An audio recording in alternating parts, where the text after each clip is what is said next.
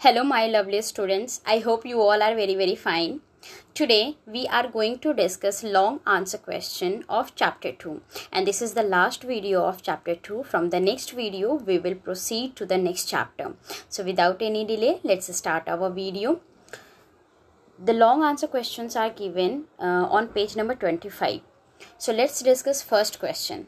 What the first question is asking, what are insectivorous plants and with the help of an example describe how they trap insects. You all are knowing there are various examples of uh, uh, insectivorous plants are like sundew plant, uh, Venus flytrap plant, pitcher plant and so on.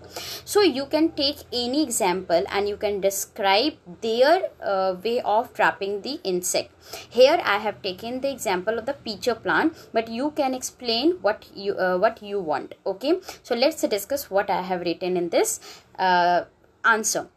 Insectivorous plants are those plants that feed on the insect okay they are doing the photosynthesis as well but for the nitrogen they are depending on the insect. That's why whenever insect get attracted towards them due to the uh, due to the sweet smell called nectar that time they used to trap the insect so answer is insectivorous means insect eating these plants take most of their nutrition from the insect that they trap, eat and digest. Okay.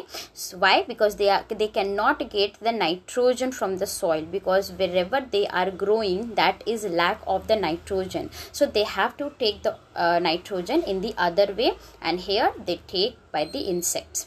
Example pitcher plant. Let me show you the picture of the pitcher plant. This is pitcher plant and as you can see it is having the leaf okay it is having the leaf which act as a lead okay so initially they keep these lead open and they wait for the insect. And inside the pitcher plant there is a nectar. As you can see these are filled with the nectar which is a sweet liquid present in the insectivorous plant. Whenever insect get attracted toward uh, towards these uh, sweet liquid okay and when they go inside of the pitcher that time they used to close like this okay like this plant. And they keep these lead closed till the uh, insect will die and get digested. When they will get digested again that lead are open and they wait for the next insect. Okay so this is how they used to trap the insect. So let's read what i have written. Pitcher plants have a pitcher like shape and the mouth is covered by a leaf. These plants have an attractive smell which attract insects. When the insects land on the mouth of the plant it is covered with its leaf. And insect get trapped and cannot come out and that at last they get digested. Okay? So again i am repeating you it's not it's not uh, necessary that you will write the pitcher plant only. You can give any of the example like sundew plant or the venus flytrap okay? No problem is there Question number two is asking what are non-green plants and how do they get their food? Non-green plants means they don't look green in color. Why? Because they are not having chlorophyll. Okay, many times we have discussed in the class. Non-green plants are not having photosynthesis and as we are knowing if they are not having uh, chlorophyll they cannot do photosynthesis. Hence they cannot make their food. So how they used to get their food? By the other ways. And in the case of non green plant okay they take these from the dead animals or the plant over there. Okay in the soil when the plant and uh, animals die and mix with the soil that time these are providing nutrition to the uh, non-green plant. Okay so let's read this answer Plants that do not have chlorophyll and cannot make their own food by photosynthesis are called non-green plants. They get their food from the remains of the dead plant and animals.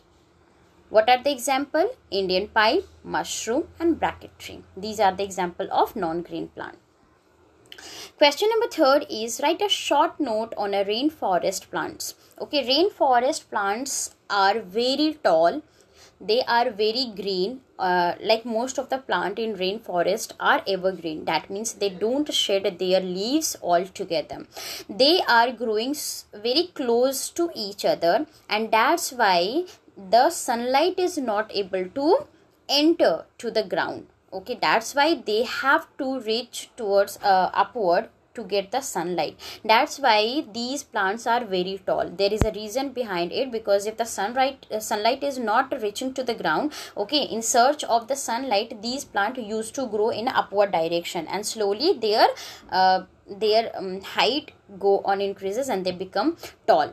They are also uh, growing very close to each other because because of the atmosphere it is receiving these area rainforest area receive very heavy rainfall and due to that different type of plants are growing over there. And due to the uh, very dense forest a lot of type of animals are also found over there.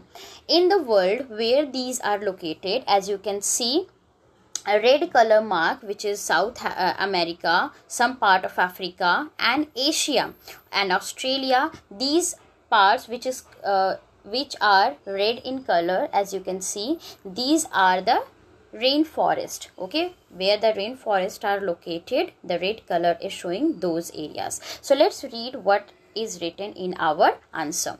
Dense and wet forests that are found mostly above and the below the equator are known as rainforest. It is also very important to note down that it is the equator as you can see it is the equator and all the rainforests are present either below like South America or above the equator because equator receives direct rainfall uh, sorry direct sun rays due to that these are having very heavy rainfall okay? The climate are very humid there and a lot of rainfall happen over there. That's why a different type of vegetation is found in the rainforest okay?